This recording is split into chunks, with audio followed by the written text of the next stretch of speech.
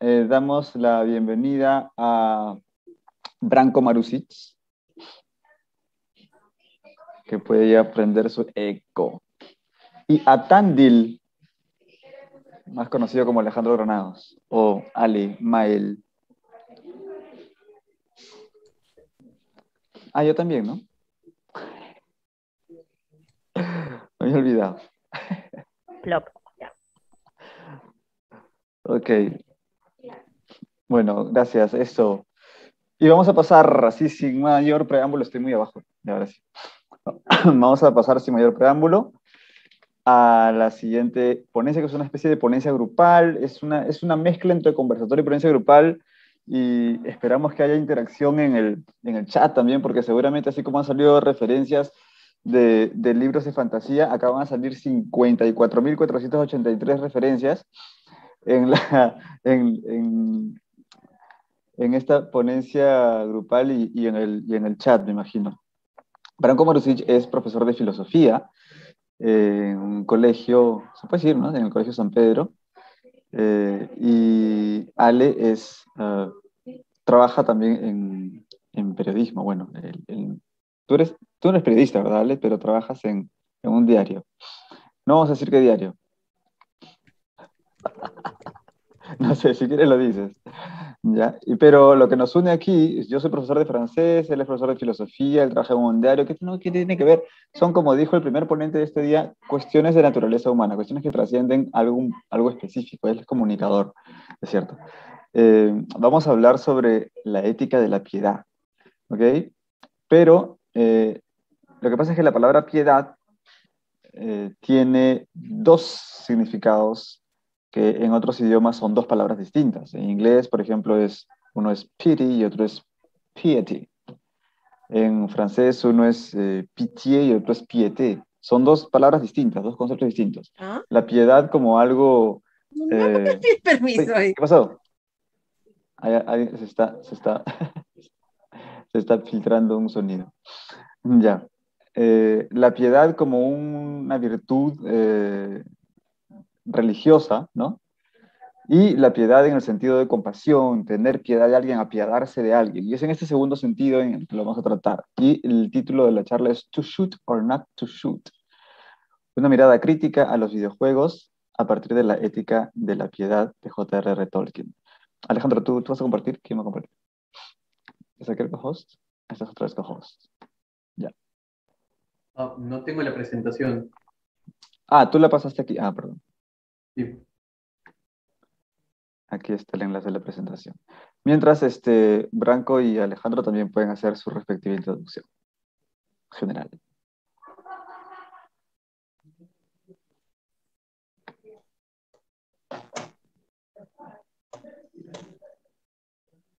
Adelante, Branco, no seas tímido. Bueno, entonces empiezo yo. Buenas noches con todos. Eh, efectivamente, como ha presentado ya Francisco, yo me dedico a la filosofía y nos pareció muy interesante poder compartir esta reflexión en torno a la piedad y a la ética, un tema muy importante y muy marcado en la obra de Tolkien, que se desarrolla de múltiples maneras, tanto así que como voy a mencionar en un momento en particular, no hay solamente una visión de la, de la ética eh, en particular en Tolkien, sino se desarrollan varias, tres en particular creo yo, y obviamente hay algunas con las cuales Tolkien asocia a ciertos personajes y otras a otros diferentes, así como también con la visión de la Tierra Media en su totalidad. Entonces, en ese sentido, creo que va a ser bastante interesante explorar cómo eso está presente también en la cultura, algo que Alejandro maneja muy bien, ya sea en videojuegos, como justamente eh, lleva el nombre la ponencia, y también algunas referencias culturales eh, de series, de películas, en donde se da esta dinámica y nos lleva a una reflexión muy particular sobre si los códigos éticos y los códigos eh, que tenemos usualmente para entender el mundo eh, se ajustan a esta visión o no. Bueno, eso es más o menos lo que vamos a ver en este dilema que creo que emula también al dilema hamletiano del ser y no ser, sino que acá más ligado a los videojuegos sobre disparar o no disparar.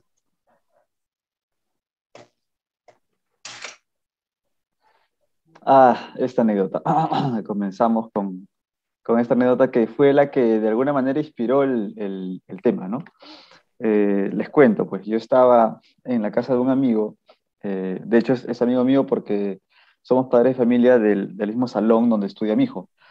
Entonces su, hijo y mi hijo este, trabajan, digo, estudian en el mismo salón en el colegio. Eh, y yo estaba en su casa y el hijo de mi amigo estaba jugando, no recuerdo exactamente si era Call of Duty, pero digamos, algo similar a Call of Duty. Y mi amigo se fue por ahí a hacer algo y yo me quedé con, eh, con el hijito de mi amigo, el compañero de mi hijo, y me dice, ¿quieres jugar, tío? Tío, me dice, nos dicen a todos, ¿no?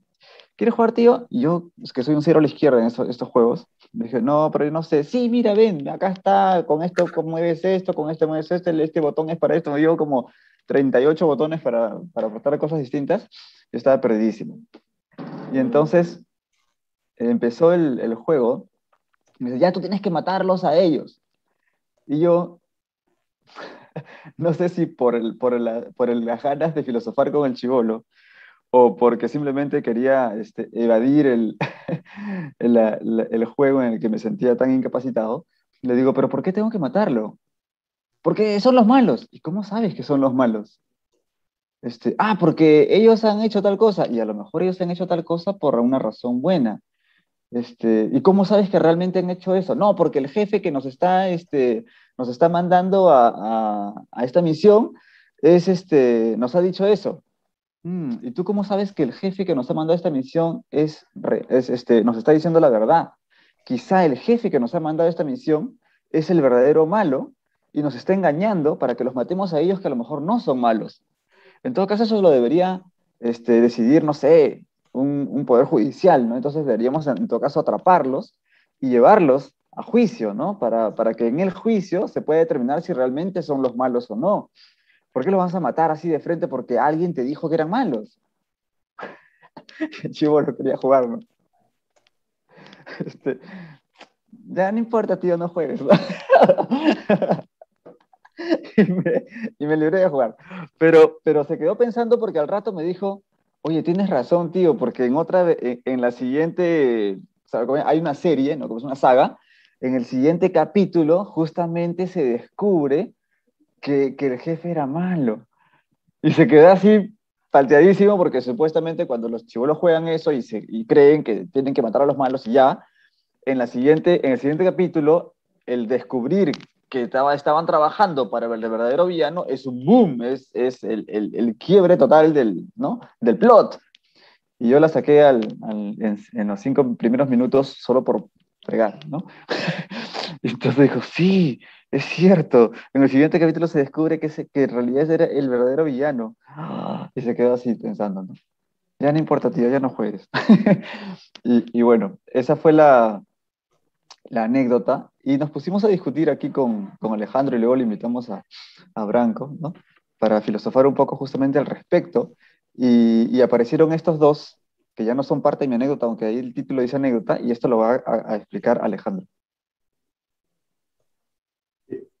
Bueno, eh, como empezamos a ver el tema de los videojuegos y nos pareció interesante nombrarlo, está este, el caso de Undertale, ¿no? Que a pesar de ser un juego bastante moderno, tiene una dinámica bastante fuera de lo común, que te permite pues, vencer a todos los oponentes, ¿no? hacer una, una misión normal, tradicional, que es la de matar, o hacer una versión pacifista, donde evades los ataques y el personaje se va ganando el cariño de los oponentes y los convierte en aliados. ¿no? Y puedes terminar la historia de una manera totalmente pacífica. Es más, y lo que decía Francisco, me parece que es en Call of Duty, eh, también se ha visto en, otras este, franquicias de videojuegos, ¿no? En The, Last of, Us 2, que es una especie de juego de, de una especie de pandemia, pero de zombies, este, como si tuvieran costras así como crustáceos encima. Eh, en la secuela, eh, en la parte 2, terminas descubriendo que las cosas no eran como te las presentaban, ¿no? Entonces, eh, me parece importante comenzar por ahí, por esa reflexión que decía Francisco, ¿no? Que puede parecer como que nos queremos evadir de esas situaciones, ¿no? Eh, pero en el fondo hay algo muy importante, ¿no? Que es el, el de la piedad, ¿no?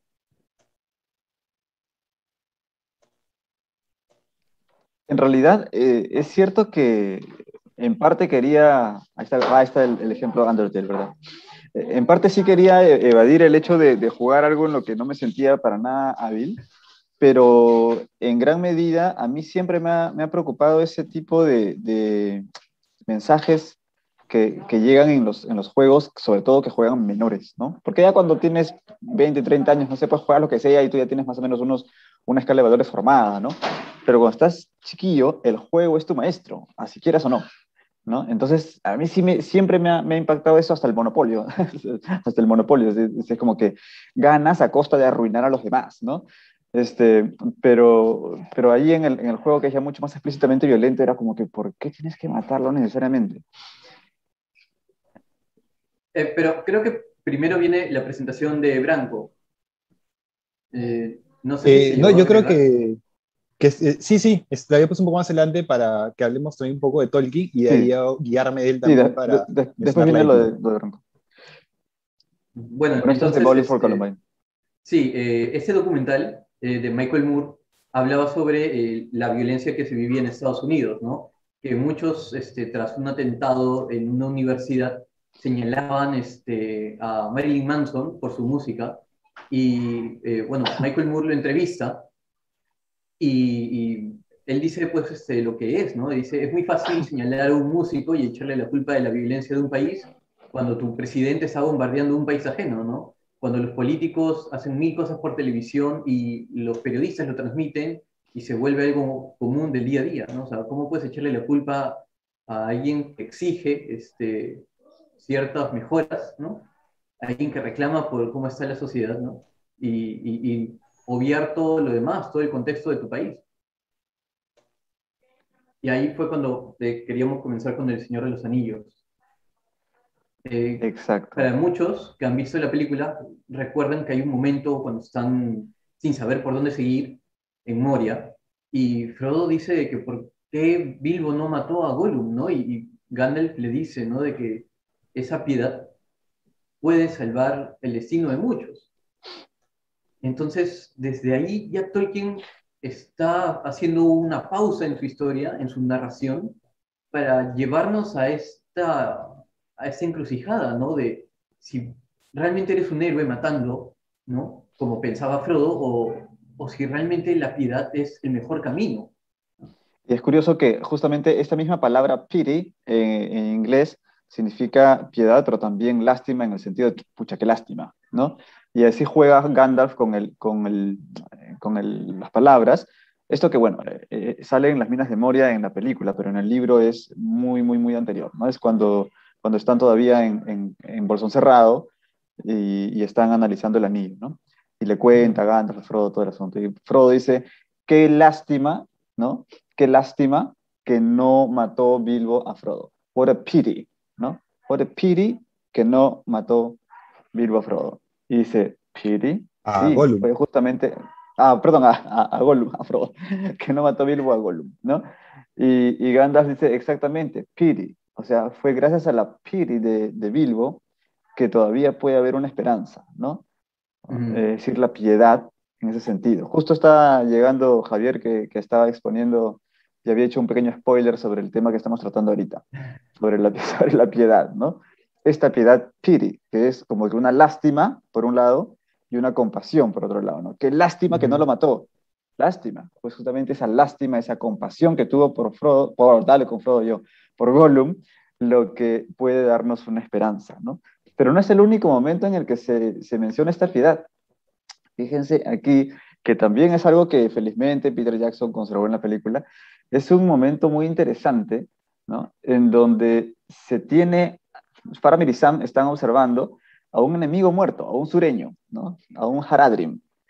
y, y, se preguntan por qué, ¿no? ¿Por qué estaba ahí? Este enemigo no es alguien malo por naturaleza, ¿no? Este enemigo tiene un nombre, tiene un lugar de origen, tiene su, su familia, a lo mejor amaba a su esposa y a sus hijos, y, y qué, qué, mentiras lo habrán llevado por este camino en vez de seguir allí en su lugar con, con la gente que él amaba, ¿no? O sea, ¿qué cosa tan fuerte puede haberlo llevado a ese camino pero es que realmente era malo, o sea, su corazón era malo, era maligno por naturaleza, no necesariamente, pero tuvimos que matarlo porque es un enemigo de guerra, ¿no? y una vez ahí no se ensañan con, el cuerpo, ¿no? lo ven y, sienten compasión con él a pesar de haberlo matado incluso, ¿no? Es, es, una, es, una, es un contraste muy fuerte. Y aquí viene Branco. Sí, bueno, acá iba a comentarlo sobre lo de Bilbo, lo voy a dejar, sino para la parte de acá al final, pero es algo muy consistente dentro de la obra de Tolkien. Eh, esta situación, justamente un acto humilde eh, de salvar la vida o de perdonar en un momento, lo que va a producir un efecto enorme que va a decir el destino de todos. Y además también es muy consistente el hecho de, como vamos a ver después, como un signo de aparente debilidad, como es, ¿por qué no tuvo el, alguno podría ver o decirnos el coraje, la valentía de acabar con el enemigo cuando pudo, eh, o con lo que él consideraba justamente un enemigo en ese momento, y ese signo de debilidad se termina convirtiendo de manera inversa en un símbolo de fortaleza y más bien de eh, grandeza también en ese, en ese mismo aspecto. Entonces, por eso yo había pensado en tres miradas a la piedad desde la filosofía, partiendo justamente de la ética que se va a dar eh, o que, se, que podemos encontrar en la obra de Tolkien y que está asociada con estos filósofos. El primero de ellos es el que está en nuestra primera diapositiva, la virtud aristotélica, que justamente si ponemos una parte más eh, de la presentación, eh, en la siguiente debe salir ahí, eh, la historia de una decadencia y los que la resisten, que es una imagen entre el mundo que vivimos nosotros y el mundo en la Tierra Media. Aristóteles concebía la visión ética de la humanidad con esta historia de las edades. Es eh, la idea de que veníamos de una edad de oro en la cual caminábamos junto a los dioses, comenzamos con ellos, más o menos de manera muy similar a la idea que eh, tenían los griegos, la idea de Tolkien de que en un inicio teníamos a Valinor, teníamos a los elfos que nacían y que iban a reunirse con ellos y que dialogaban con estas eh, criaturas angélicas de gran poder, los Valar, los Ainur, o los Mayar, mejor dicho, Em, los y así, Ainur, los Ainur, perdón, ahí la gramática. Eh, efectivamente, eh, tenemos todo esto y poco a poco empieza la humanidad a pasar de la edad dorada a una edad ya de plata, a una edad de bronce y podríamos hacer una distinción en diferentes eh, aspectos, pero que entraña una decadencia. Y eso lo podemos ver también en la Tierra Media, porque vienen los problemas, viene la desobediencia de parte de la raza de los elfos, los conflictos con los hombres, y lo vemos representado en varios elementos, como por ejemplo que al final de la Tierra Media, eh, o de la tercera del Sol, mejor dicho, al final de la historia de la que tenemos la Tierra Media, ya ni siquiera que los Valar caminaban por el mundo, sino ni siquiera los elfos. Los elfos se van del mundo, eh, parten en los puertos grises eh, y llega a un destino donde ya la humanidad hereda un poco la Tierra en ese sentido. Y también se puede reflejar otro elemento que me parece muy interesante. Todos conocemos el árbol blanco de Minas Tirith, este árbol que no da, ya no dio fruto o no daba, eh, las flores no surgían, que justamente una imagen muy bonita ahí en la, película, y que es un fruto o es descendiente del árbol que existía en Númenor en la segunda edad del sol, que era como la imagen de la Atlántida, una época gloriosa de los seres humanos que ya se perdió por culpa también de eh, las rebeliones, los conflictos, y que a su vez este árbol es fruto también del árbol que existía en Valinor, que era el más espléndido o los más espléndidos juntos, porque eran dos árboles, y que fueron pues eh, vilmente destruidos por el gran antagonista de la historia, y que eh, vemos entonces cómo pasamos de una decadencia y de una repetición cíclica de la historia que poco a poco se hace más pobre, menos luminosa, pero que a su vez también entraña un elemento muy importante que lo vamos a ver después, eh, poco más adelante, ¿no? Entonces, la virtud de los personajes está en, a pesar de esa caída eh, por parte del tiempo y este avance que hace que cada vez deje de brillar la humanidad, ellos sigan manteniendo los valores, sigan manteniendo eh, esa búsqueda por encontrar el bien, y la piedad es un elemento clave en ese sentido, ¿no? En la idea justamente de poder perseverar como algo que si bien ya no va a alcanzar la grandeza de antes, eh, sí es muy importante para todos y forma parte de la historia, por lo tanto, es necesario ese tránsito para que luego todo se reúna eh, en una renovación, pero que claro, quiero dejar eh, más o menos en claro que esta renovación no es algo propiamente aristotélico, sino algo posterior que podemos asociar con otra visión espiritual y que vamos a llegar a ella, pero antes vamos a encontrar una visión más de la ética, que es la siguiente.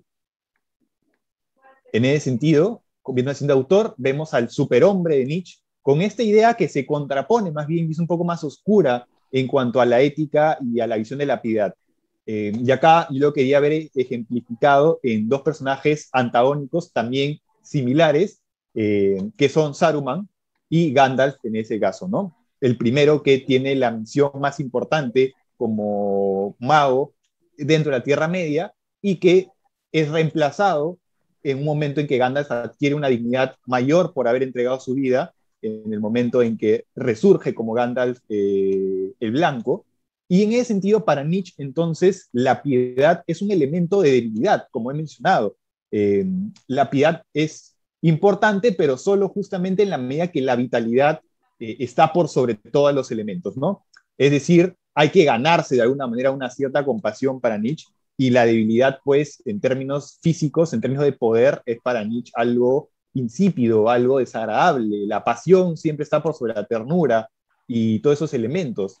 Entonces, en esta línea me parece interesante remarcar cómo, eh, como segundo elemento, el poder es algo etéreo que se materializa en Tolkien. Y es muy interesante porque el poder está materializado con dos elementos claves en toda la literatura, en toda su obra. En primer lugar, los Silmarils, elementos que materializan el poder vital de la Tierra Media y que son aquellos elementos los que le dan nombre a todo el Silmarillion. De ahí viene, ¿no? La querella de los Silmarils, si no me equivoco, la traducción que se hace, el conflicto que tenemos a partir de, de estas joyas. Y entonces esto se ve repetido en el anillo, que justamente es el que materializa el poder oscuro de Sauron y por el cual se realiza todo este, eh, este encuentro definitivo por el cual se quiere evitar el retorno de este personaje oscuro y que finalmente ejerce su, influencia a través de él. Entonces, esta influencia, esta idea de la persuasión que el poder otorga, es muy interesante porque nos da cuenta cómo el poder también tiene un carácter en términos de eh, materialización, en términos espirituales. En ese sentido, Saruman cree fehacientemente que el poder es algo que va a llevar a la Tierra Media a una situación eh, más óptima, diferente. Obviamente hay una cuota de soberbia escondida claramente de todas maneras, pero de alguna forma él piensa que el orden que va a ejercer el poder restringir la libertad y que le va a otorgar el Señor Oscuro es mejor que dejar en libertad y que de alguna manera permitir que todo suceda eh, libremente, que suceda justamente por iniciativa de los demás. Él siente esa necesidad de imponerse para traer un orden, pero que obviamente en la cuota de poder está la idea justamente del control.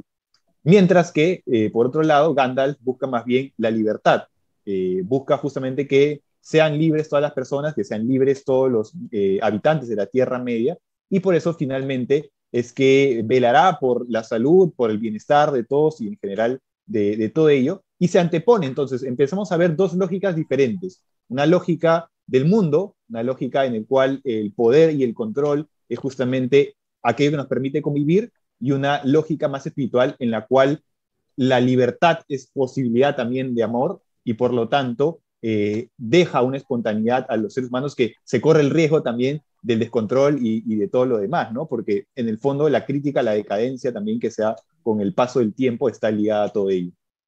Entonces, en ese sentido, entre estas dos lógicas, una lógica en la que la debilidad, eh, como dice Nietzsche, es algo que no debe darse, sino que tenemos que ser viriles, fuertes, poderosos para poder eh, lograr nuestros objetivos, versus una lógica de ser libre, de ser compasivo, de eh, dejarse vulnerar por el otro o por la otra persona, y llegamos a la última visión ética, que creo que es la más importante.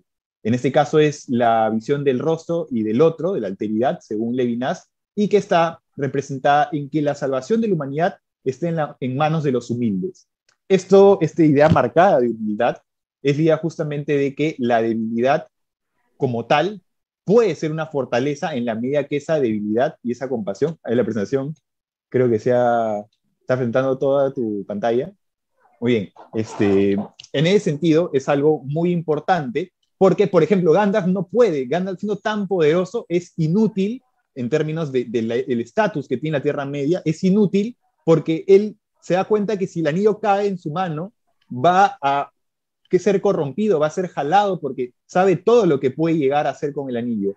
Si Frodo sentía poder teniendo el anillo, imagínense un personaje que se supone que está prácticamente a la altura de Sauron, ¿no? Porque también es un Mayar Gandalf en este caso.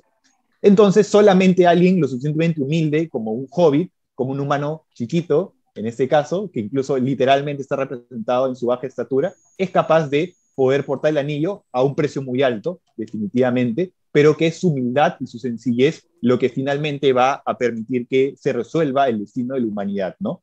Y ahí nuevamente, haciendo una conexión con el inicio, es la humildad también eh, y la piedad que presenta Bilbo, lo que le va a permitir luego en el desenlace ya eh, de toda la historia, va a permitir que eh, el mismo mal se autodestruya, como es una premisa principal de Tolkien, ¿no? esencial. Él no piensa que el mal se debe combatir con violencia, porque si buscamos utilizar el poder para destruir el mal de manera activa, lo que va a pasar es que vamos a recurrir a esa idea, a esa lógica de que el poder es el que tiene que imponerse sobre alguien para poder actuar. No, lo que hay que hacer es resistirse al mal, es la visión de Tolkien, y en esa resistencia el mal se autodestruye, el mal se sabotea a sí mismo, y por eso vemos el desenlace que ocurre en, la última parte de los libros y del Señor de los Anillos, de que es el mismo Gollum en un conflicto con Frodo el que produce la destrucción del anillo queriendo recuperarlo.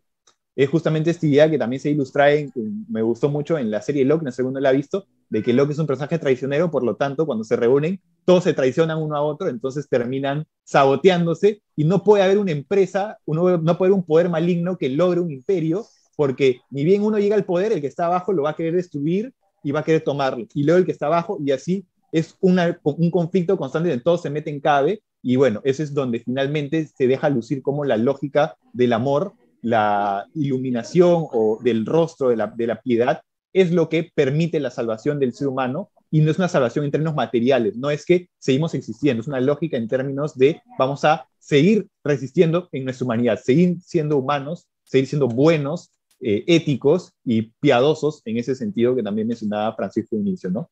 Yo he hablado acá una buena parte para plantear estas líneas y quisiera saber también si hay alguna observación o alguna idea sobre esto para asociarla eh, en base a lo que ustedes han presentado, Alejandro y Francisco.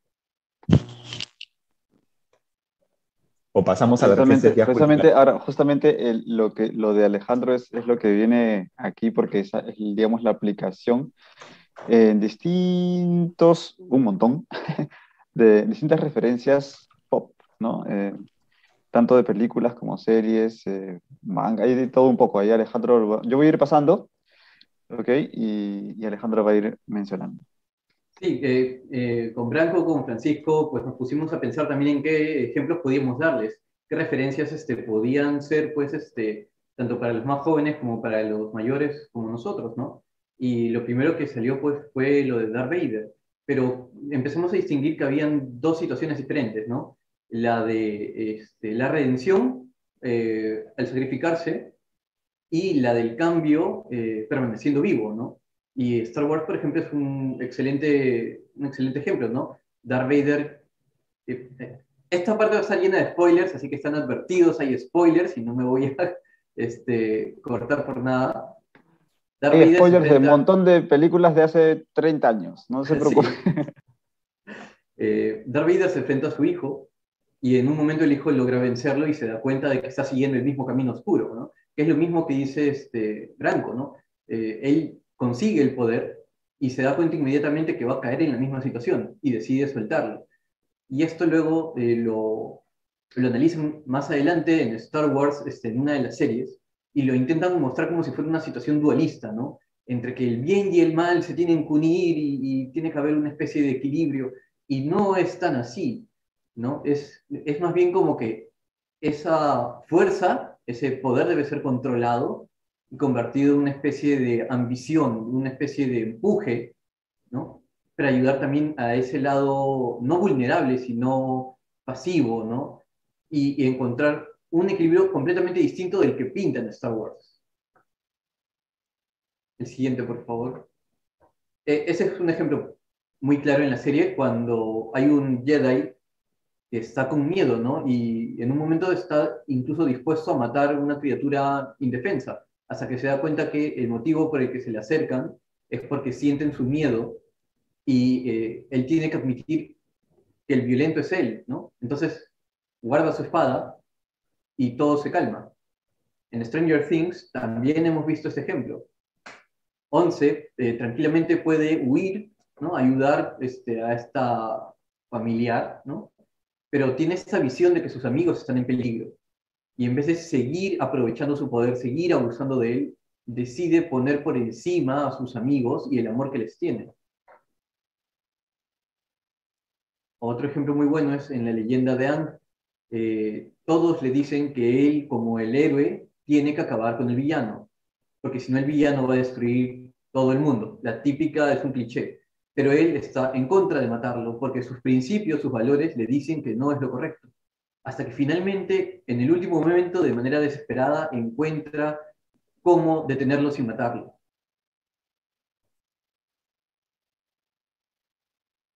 Lo mismo pasa en la continuación, en la leyenda de Korra. Korra eh, ve cuatro enemigos diferentes a lo largo de la serie con posturas muy radicales. Y a pesar de que los derrota, es piadosa con ellos, no permite que mueran. Es más, aprende de ellos y eh, disminuye el discurso que ellos tienen y lo adapta a la realidad, sin lastimar a otros. Otro ejemplo clásico es de X-Men, no sé si han visto esa serie de los 80s, 90s, hay un capítulo en el que Wolverine, eh, Gambito y Rogue van a, este, de vacaciones, encuentran este monasterio y la gente del pueblo tiene miedo por la apariencia de este mutante. Al final, todos se salvan y Wolverine le reclama, no le dice, mira lo que ha pasado. Y el otro le dice, pero no es tan importante, le dice, la gente cambió, la gente ya no me mira con miedo, la gente ha cambiado su perspectiva, todas las vidas se salvaron. Lo que se quemó fue una propiedad que se puede volver a levantar. Y hace que Wolverine empiece a cambiar como personaje en la serie.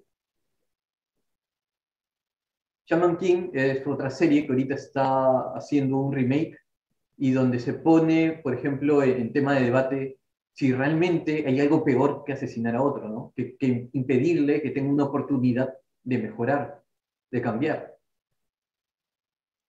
El siguiente, por favor. Eh, Naruto para muchos este, también es un ejemplo clásico, ¿no?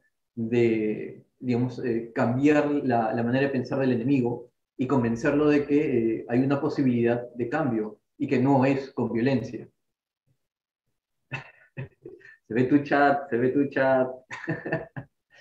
en Samurai X hay algo muy interesante, hay una visión bastante más oriental, de tipo ya medio budista, donde se usa una espada sin filo, una sakabato, pero que tiene eh, una profundidad un poco mayor, que es justamente de cómo se empieza a ver eh, todo este cambio en, en era Meiji, que pasa de ser uso una espada para defender mi razón a uso una espada para defender a otros.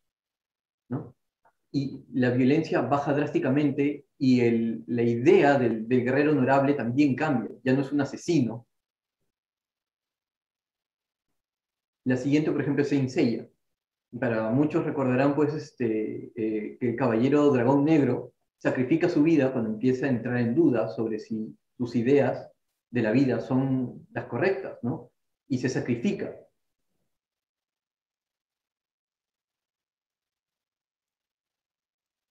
Ah, eso también es bastante oriental. Eh, en muchas eh, series japonesas animadas se habla sobre Avalokitesvara.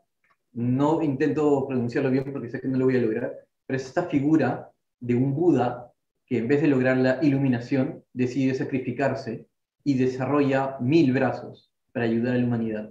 Y aunque en los animes lo suelen poner como si fuera una técnica para matar, en realidad es todo lo opuesto en la filosofía oriental. Si es que se puede decir que hay alguna filosofía oriental. ¿no?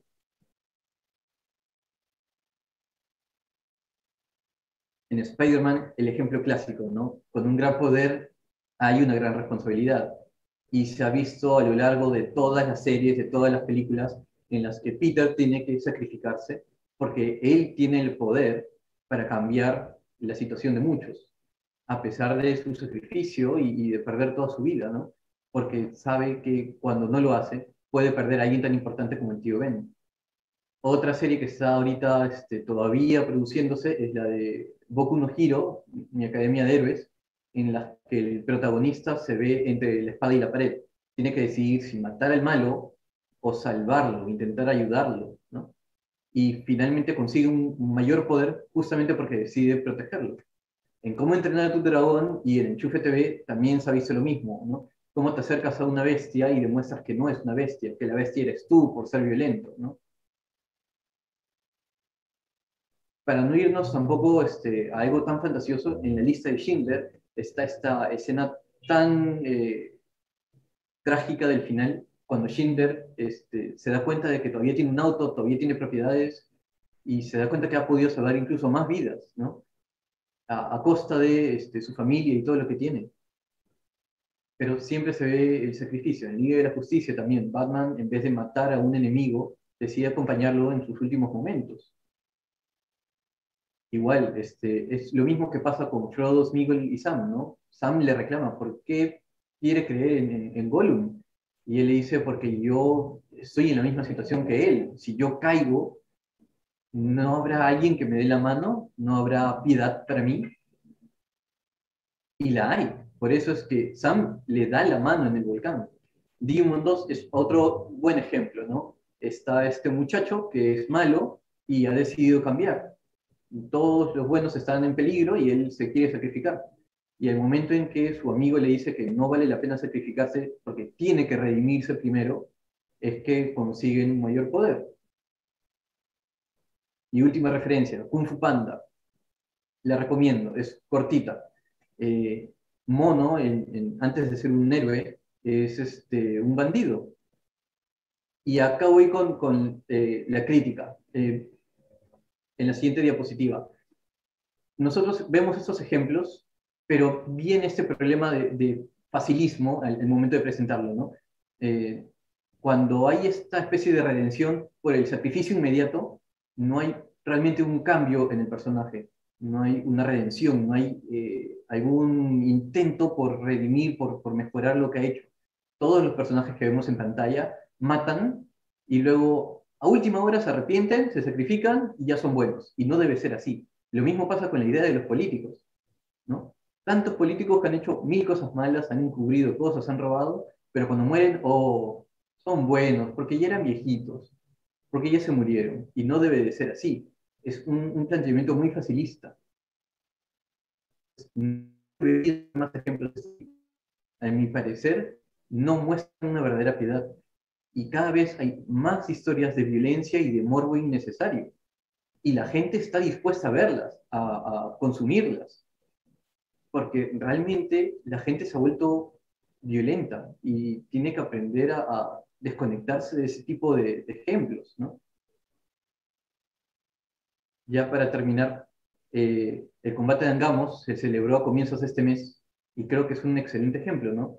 Miguel Grau, eh, en lo posible, después de vencer, digamos, al navío contrario, intentaba, pues, proteger y salvaguardar las vidas que pudiera. Eso es la verdadera piedad, es darle una oportunidad. Entonces, cuando ustedes estén detrás de un arma, apuntando a cualquiera, piensen bien a quién le están apuntando, porque es un disparo que puede regresar hacia ustedes, es un arma de doble filo.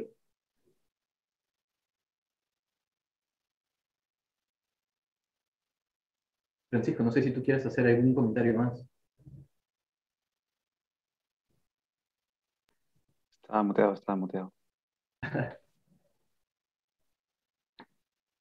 Eh, veo que sí, están, están haciendo cositas, este, están diciendo cositas muy interesantes en, en el chat. ¿no? Por un lado, eh, decía Carlos hace un momento que las técnicas para matar evolucionaron en técnicas de sumisión como el aikido. las mismas artes marciales van incorporando el, tema de la piedad de alguna manera. Eh, Luego, por aquí decía Diana Carbonina que eso no pasó con Snape. Parece que en Snape sí hay un proceso más, más profundo. No sabría decirlo yo, porque no soy, no tengo mayor conocimiento de Harry Potter. Eh, Alicia estaba comentando que hoy le pasaron fotos de una fiesta infantil basada en el juego del calamar. así de mal estamos. Yo creo que podemos ver ahí un poquito también la cuestión que hablamos de los ciclos y cómo entramos en una cierta decadencia eh, en cómo vemos las cosas, y en cierto sentido es algo que, me atrevo a decir, también corresponde con los actos humanos, es decir, eh, después de vivir algo como la Segunda Guerra Mundial, como decía algún filósofo, es muy difícil creer en los valores eh, que pregonamos antiguamente, sobre todo los que lo han vivido directamente y han visto desaparecernos, esos ideales que justamente ya se vuelve cada vez más heroico, algo tan sencillo como creer en algo como el amor, en algo como la esperanza, en algo como que puede haber un bien eh, común para todas las personas. Y creo que en ese sentido, bueno, por ejemplo, eh, el caso del juego del calamar, que lo mencionaste ahí un poco ahí, Alejandro, eh, tiene connotaciones interesantes y críticas interesantes, pero también a veces sí noto que se pierde un poco en la banalización que tenemos en la actualidad, eh, justamente porque eh, si bien refleja algo real, por otro lado también ya estamos en, una especie de situación en donde lo paródico o la misma realidad cultural calza, pero muchas veces hace que no se tome la importancia de lo que pudo haber sido un mensaje, por ejemplo, contra lo que son los sistemas y las maneras en, las cuales eh, vivimos o viven ciertas sociedades. Yo, por ejemplo, puedo comentar ahí sobre el caso del pueblo Calamar, imagino que muchos lo han visto. Eh, ahí tenemos un personaje que al final del juego, después de haber llegado al, último momento, voy a de sin hacer mucho spoiler, eh, pero no quiere o, no, siente que no puede cobrar el dinero que ha ganado porque simplemente ha perdido su humanidad o ha perdido algo significativo de su humanidad en el proceso. O sea, obtener todo el dinero que necesitas después de haber visto o de haber perdido a alguien que tú quieres y haber visto eh, morir de manera terrible a muchas personas, para obtener ese dinero lo sientes justamente que, como mencionaba en este caso Alejandro, no es un disparo, pero haber indirectamente o simplemente disparado a otro, también no mató solamente a alguien, sino también se mató a sí mismo en un aspecto, ¿no? Y en ese sentido, bueno, el caso también de, eso refleja una realidad que tengo entendido es muy fuerte en Corea del Sur, o sea, en Corea del Sur la cantidad de personas que viven endeudadas y con deudas eh, astronómicas es enorme. Entonces sí está tratando algo, pero sí es cierto que, por ejemplo, en nuestra sensibilidad actual he visto cómo se ha eh, banalizado mucho de, esta serie y claro, tenemos trendings eh, en Instagram que es para jugar como si fuese pues, uno de los juegos de ahí, otras cosas que eh, en, algunos casos pueden de alguna manera también sí eh, llevar a perder la perspectiva de que esto se supone es una crítica a la sociedad y estamos haciendo como que bromas en función a eso. Entonces, eh, espero que no se pierda el mensaje en ese, en, ese camino, pero sí es cierto que tendemos mucho a, estamos en el, en el, mundo de los memes, ¿no? Entonces, pueden ser importantes, pero, pero claro, hay que, hay que tomar en cuenta que en todo caso tomar conciencia que lo paródico tiene, como el caso de Terry Pratchett, que lo, ilustra muy bien, un carácter muy poderoso. Pero si vamos a tomarlo como un mero chiste, ahí sí estamos en un problema. No, no podemos decaer a esa concepción tan eh, simplona de lo que puede ser la comedia o de lo que puede ser eh, una broma, por así decirlo. Es interesante esto que dice eh, Gerald, ¿no? O Mitchell, uy, sí Tiene sus cosas, dice la, la, del juego del calamar, sin hacer spoiler. Definitivamente no es para niños, pero ellos son los que saben más de la serie. ¿No? Porque muchas veces, lamentablemente, en la familia es más cómodo tener al niño sentado en el, en el televisor o, en, o, en la, o, con su tablet, o, ¿no? Para que esté ahí tranquilo, ¿no? Y no sabemos todo lo que está absorbiendo. Eh, y definitivamente hay muchos, muchas cosas que parece, que, que, tienen una estética que parece para niños, pero que no lo son en, en absoluto, ¿no? como típicamente dibujos animados. Ah, está viendo dibujos animados, entonces debe ser para niños, ¿no? Y hay un montón de dibujos animados que son para adultos, incluso pornográficos, ¿no? Entonces, este, ¿qué está viendo tu hijita? Ah, está viendo dibujos animados, bacán, ¿no? Está viendo hentai. ¿Qué sé yo? Este, entonces, eh, sí, hay que, hay que tener eh, mucho cuidado con eso, ¿no? Ahora, para mayores, eh, no necesariamente porque sea algo malo, sino porque justamente el mayor puede filtrar, ¿no? Como dice Branco, y, y ver cuál es el sentido de la parodia y aprovecharlo aprovechable, entonces sí puede ser, puede ser interesante revisarlo. Samurai Kenshin también, la hoja inversa para no matar. Carla, de la Molina, dice, creo que la misma sociedad banaliza la violencia porque quienes están más, más expuestos lo toman así para superarlo. Y Gerald dice, a veces pienso que solo lo saben porque todo el mundo habla, pero no han visto. Sí, puede ser también, ¿no? A, veces lo que hacen es ver un extracto solo para entender el meme, también, ¿no? Eh, eh, link de Frodos, amigo Lumplis, este, Alejandro, falta. Eh, restricción para no ver ese tipo de series. Bueno, las restricciones son un saludo a la bandera, ¿no? Se ponen ahí tu, tu, tu cuadradito mayores de no sé qué, pero quién sabe. Y los mismos videojuegos, los mismos videojuegos que, que, que traen mayores de 18, ¿quién los juega? ¿Mayores de 18? Ah, lo juegan de 10, 11, 12 años, ¿no? Y son juegos que tienen la etiqueta mayores de 18. Parece que los papás no se animan a ver la contraportada del, del juego y simplemente, ah, ¿qué quieres comprarte? Este, toma, y ya está, ¿no? Y atrás de la portada dice mayores de 18. Y el chivolo como tiene 11, ¿no? Así es, lo paródico y el mundo de los memes. Se ha puesto de moda el meme Evil Be Like. Ah, eso no lo conozco. Es un poco traumatizante si lo ve un pequeño un preadolescente. De hecho, hay un montón de cosas que son traumatizantes. Pero ahora, si tú estás expuesto a una y otra y otra y otra y otra cosa que supuestamente es traumatizante, puede que sea traumatizante la primera, la segunda, la tercera vez. Después viene el momento en que te desensibilizas ante lo que es traumatizante y eso puede ser aún peor. Porque ahí viene la banalización y, la, decadencia y la degradación de, tu, de tu sensibilidad, ¿no? Ah, eh, tu, psique se protege de, esa, de, esa, de ese trauma y se vuelve insensible más bien, o sea, es peor. Y quienes se encuentran menos expuestos son indolentes. Exacto, justo ahí está el asunto de lo que decía Carla, ¿ves? Se encuentran menos expuestos son indolentes porque cada vez uno vive más mirando a su ombligo, bajando la capacidad de empatía. Ah, es otro caso. No, es como que yo no me enteré, yo no lo vi, no me importa. ¿No?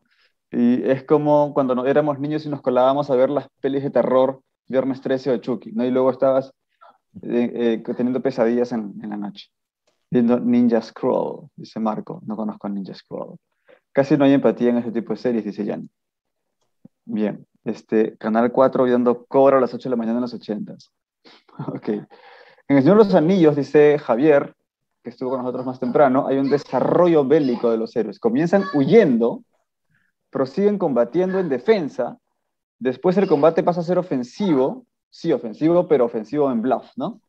Y finalmente es restaurador del bien previamente perdido pero no por lucha, sino por una eucatástrofe al final. ¿no? Ah, en, ese sentido, la, la batalla que tienen a las puertas de, de, Mordor no está planeada para que ganen bélicamente, sino para hacer Exacto, la, la cuarta y la para que puedan ellos conseguir. O sea, si Frodo y, y Sam no llegan a el anillo, todos los que estaban ahí sabían que tenían un final eh, de todas maneras.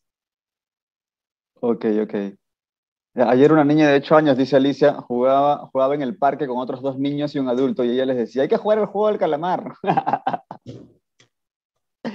Ah, yo, creo que eso, es, eso también, quería comentar lo que mencionas, me es interesante porque creo que está alimentado por una cultura de la competencia a veces muy exacerbada que tenemos el día de hoy, ¿no? Eso de tengo que ganarle a todos y tengo que escalar justamente por sobre todo los demás, que exacerba una violencia que parte desde el hecho de yo quedarme con lo que tú puedes obtener por, e, por eso mismo, y eso se está ligado también definitivamente a una cuestión de eh, una exacerbación de lo económico, ¿no? Vamos a hacer este, productos consumibles que justamente sean, eh, como en este caso lo, del juego de calamar, entonces se hace algo pop que no, tiene, no, es de por sí malo, pero se, se filtra a espacios en donde justamente ya no hay a lo mejor una madurez porque yo me imagino que los niños que dicen esto probablemente no, no tienen la mínima conciencia de lo que implica, de lo que representa esta serie y ese juego, ¿no? Pero claro, se hace un, algo divertido, algo para que todos consumamos, menores y, mayores. Y ahí pues este, vienen un poco los problemas, ¿no? Que tú también me mencionabas. Qué, interesante lo que dice Carla. No toda la violencia genera indolencia. La novela Escuela de la calle Pirañitas ayudaba a acercarte más a una realidad que convivía contigo en los 90 y hacía reflexionar sobre las condiciones de vida que tienes en comparación con lo que pidas ver en la tele. Claro, la violencia es un elemento, y hay varias formas de incluir ese elemento en, en, la obra, ¿no? Eh, la competitividad. Yo vi el resumen del calamar. Ah, yo, yo leí el calamar en Wikipedia, ¿no? es, es ah, interesante porque... Eh, yo, iba a comentar que justamente la idea de una sociedad es que nosotros renunciamos, como dice, este, si no me equivoco, es este Hobbes el que lo plantea, renunciamos a la violencia y a la venganza física para que eso sea sublimada a través de la ley. O sea, yo tengo a alguien que me ampara y que justamente permite un proceso en el cual se administra justicia de una manera más civilizada, ¿no? Pero eh, en la medida que también entra en crisis lo político, es que explota las situaciones de, la índole de, represalias o, de una ley pues que finalmente pueda hasta fomentar la violencia en la medida que se utiliza de manera inapropiada. Y aquí nuestro amigo economista, que nos dio una ponencia hace un par de horas, eh, dice la cooperación también es un elemento clave en lo económico. Alvin Roth, Premio Nobel 2012, Cooperar para competir. Eric Ruiz ha escrito esto. Ah, yo quería hacer una acotación. Hace un rato éramos 42 participantes, me había acordado de la respuesta última, la vida, del, la, vida del universo y lo demás. Bueno, tenemos esta cita de Oscar Wilde. Destruimos siempre aquello que más amamos, en campo abierto o en una emboscada. Algunos con la ligereza del cariño, otros con la dureza de la palabra. Los cobardes destruyen con un beso, los valientes destruyen con la espada, pero igual destruyen. Oscar Wilde, Balada de la cárcel de Reading. Ok, esta es la última diapositiva.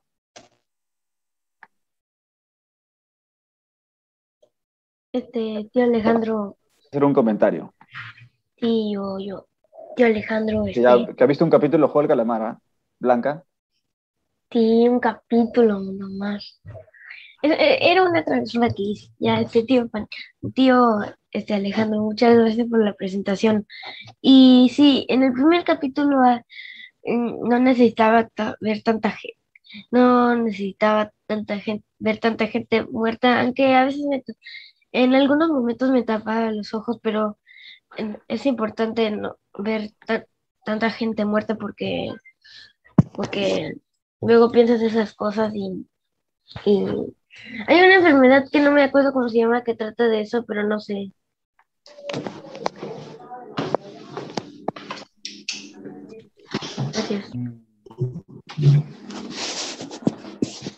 Yo creo que como decía, como decía Francisco, el, final es de tanta violencia termina resultándote normal cuando es el día al día, ¿no? Y ahí viene un problema, que luego te vuelves indiferente, ¿no? Los médicos, por ejemplo, siempre están expuestos a esto, eh, los policías también. No es una excusa para que, que actúen como actúan de manera tan fría, pero tienen que hacerse un tratamiento, no tienen que ir a un psicólogo y, ver qué tanta violencia están absorbiendo ellos también, ¿no?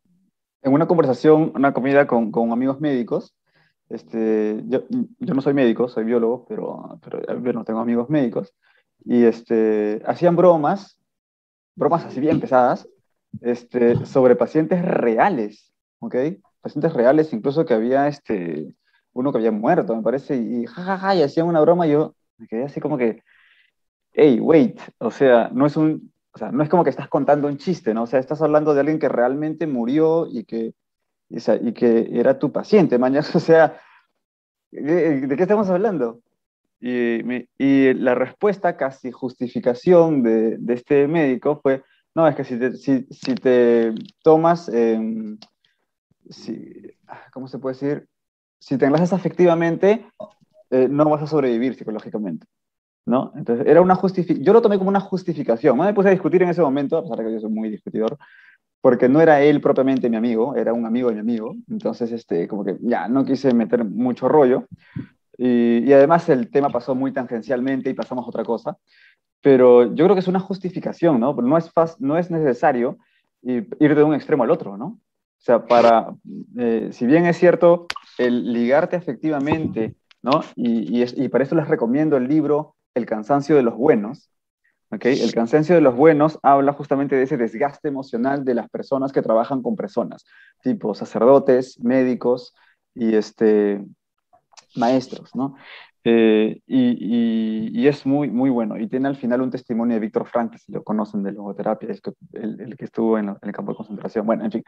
Y, esto es cierto, ¿no? Hay un desgaste psicológico eh, en el médico, en el maestro, en el sacerdote también, pero, pero no, no es una justificación para que luego bloquemos de tal manera que nos desensibilicemos al otro extremo, ¿no? Es muy difícil mantener esa, esa muñeca, ese equilibrio, porque al final igual vamos a trabajar con personas. Y si tú te desensibilizas y vas a trabajar con personas, fatal, fracasas en tu misión, vamos, finalmente. Ahora, el desgaste depende de la persona, pero también de su entorno, ¿no? Eh, y, de, y, de, cómo esa, y de cómo esa persona valora el equilibrio que menciono, ¿no? eh, la cómo valora la necesidad de encontrar ese equilibrio. Yo trabajé un tiempo en un centro municipal de salud y vi casos en Demuna. Bueno, uff. En fin, tenemos, ¿y qué recursos tiene? ¿Y qué recursos tiene? Exacto. Por eso es bueno en sociedad tratar de difundir recursos, ¿no? Difundir recursos y que lleguen a las personas que lo necesitan. La salud mental es, es, algo que está muy descuidado.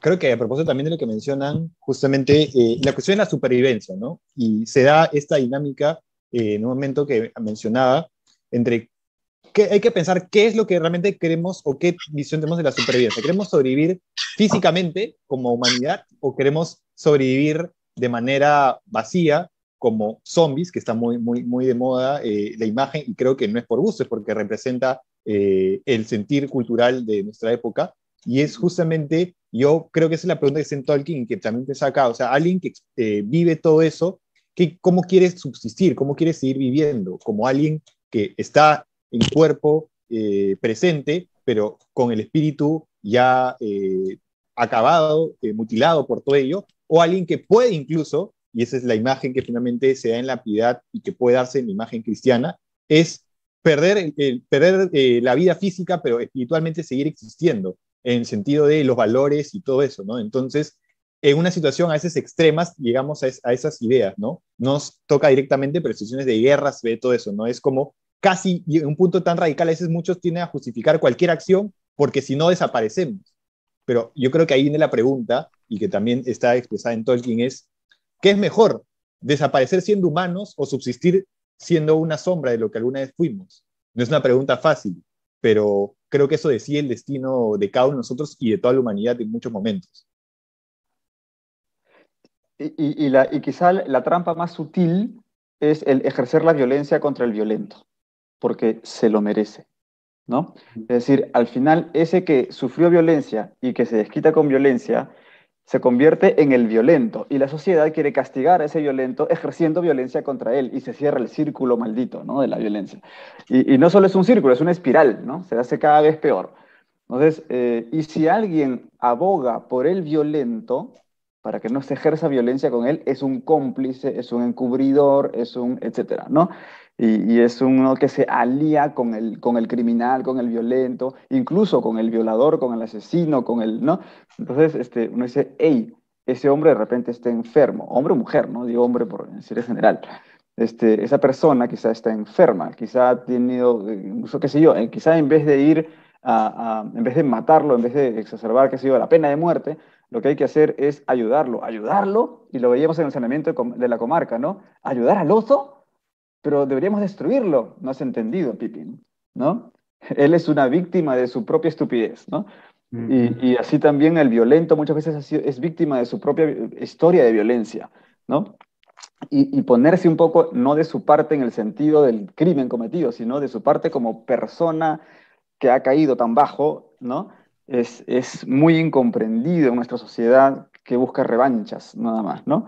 Es, más, o este sea, Branco creo que eh, lo mencionó en, las primeras conversaciones que tuvimos sobre el facilismo, este, de la idea del bien común, del bien mayor, ¿no? Este, lo que decían acá algunos es de sacrificar a uno para salvar a varios, ¿no? ¿Cómo encubre ese facilismo eh, toda una filosofía violenta detrás? ¿no? Es que, no, si, si hubieran matado, por ejemplo, a Voldemort, todos se hubieran salvado en la historia de Harry Potter. Y no es así, no, no puedes quitarle la vida a alguien ¿no? con la idea de defender a otros.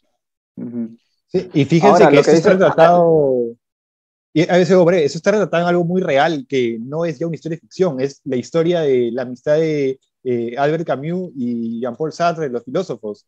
Sartre, justamente, existencialista, llegó a justificar el régimen de la Unión Soviética porque creía de que este, esta idea de bien, incluso para a, qué punto ya puede llegar a pervertirse los valores, eh, esta idea de bien que podía instaurarse a través de un Estado totalitario o de un Estado que tenga ese tipo de eh, acciones, podía llevar a la humanidad a un estadio más perfecto, un estadio mejor, y ahí es donde Camus, amigo suyo, tuvo que romper con él, le dijo, el verdadero esencialista es el que nunca va a justificar un crimen de lógica así irracional que es tan prácticamente como los campos que vimos en Alemania, que sistemáticamente radicas un grupo para poder supuestamente encumbrar a otro y beneficiar una libertad. Eso es completamente absurdo, ¿no? Pero fíjense el drama de dos filósofos que tenían una visión en un inicio muy similar, tomaron dos caminos distintos porque eh, justamente, como bien has dicho tú, Alejandro, no puede permitirse una cosa así, ¿no? Es contradictorio que alguien que define la libertad termina prefiriendo la libertad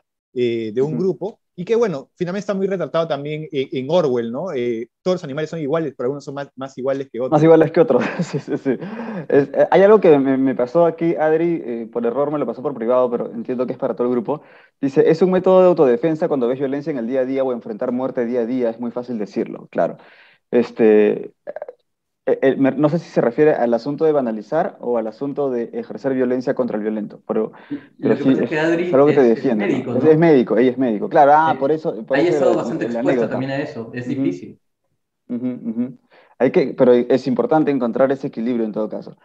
Eh, Carla eh, dice, cuando en algunas sociedades eliminan a esa persona para proteger a los demás, a veces no es necesario, y cada vez menos, creo yo, a medida que va evolucionando las sociedades, es cada vez menos necesario eliminar a la persona para proteger a los demás.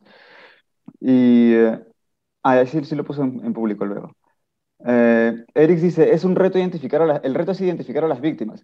lo que pasa es que es fácil, tener, es fácil tener empatía con las víctimas. Lo difícil es tener empatía empatía eh, en, cuanto a en cuanto a persona con el victimario. Y por eso es que se cierra el círculo de violencia, porque el victimario, como es el que hizo el mal, se convierte en el que es malo. Y pasar de aquel que hizo el mal a aquel que es malo es una trampa muy sutil que nos deshumaniza. Ese hizo el mal, ok, pero no es que es malo, entonces no es que tiene que ponerse en una etiqueta a un costado y todos contra él y hay que matarlo o hay que hacerle... No, es una persona que hizo el mal, ¿no? Entonces es muy difícil, es muy difícil eh, empatizar con eso, ¿no? Con ese núcleo personal. Es muy fácil también, después de etiquetar al otro como malo, tú etiquetarte como el bueno, porque eres muy Exacto. Porque, porque identifiqué al malo y estoy contra él, por tanto yo soy el bueno, ¿no? Eh, en fin, el individuo decide correr con las consecuencias cuando decide actuar. Eso sí, o sea, las penas tienen que estar, ¿no? Eh, a ver, salteo algo porque ya, ya este, el dilema de la pena de muerte, sí. Realmente una pena. Yo quería, quería mencionar también algo breve que es, este, lo había comentado, creo que el perdón es lo único que puede romper ese ciclo, filosóficamente hablando incluso, porque el perdón es la manera de eliminar el peso del pasado, es decir, te revoco de todas las penas que puede que tengas que asumir por lo que has hecho, pero yo te libero porque, porque te quiero, finalmente, es ley el perdón. Exacto. Y creo que es, por ejemplo, algo muy bonito que está muy ilustrado en, Los Miserables.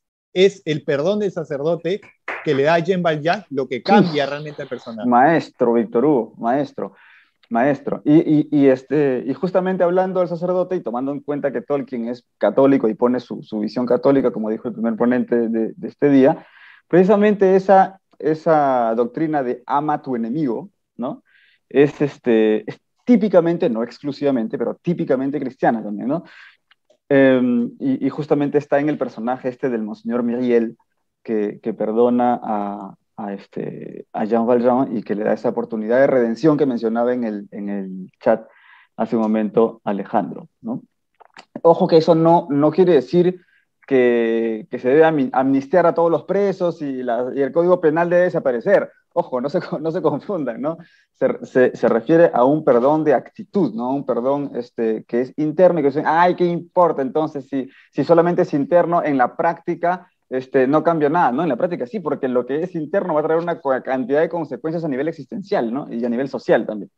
En fin, oigan, este, está muy interesante y nos voy a parar este, eh, necesariamente porque nuestros amigos de Chile ya están en sala este, desde hace un tiempillo y ellos ya nos, estamos pasando cada vez más de la hora. Muchas gracias, Branco. Muchas, Alejandro ya apagó su cámara. a Tandil apagó su cámara. Este, la única forma... muchas gracias. muchas gracias, ah, muy bueno. Gracias.